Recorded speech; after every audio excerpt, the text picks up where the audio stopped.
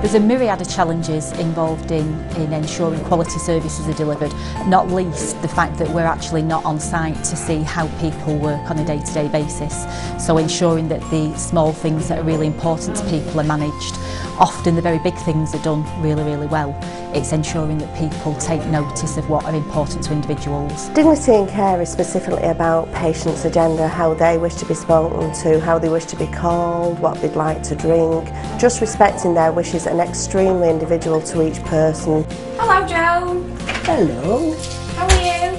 I'm fine, thank you. What we've done is work with the care homes to develop essentially a workbook which actually identifies standards and that's using the emblem of the DAISY campaign where each of the petal is a set of standards which the homes have to work to achieve. The PCT team have been, I have to say, genuinely fantastic to work with. There's a real enthusiasm, a real vibe, a real desire to ensure that people are receiving quality services. There's incredible efficiency in joining together and increased productivity by complementing each other's services. This programme has exceeded our expectations in every way really.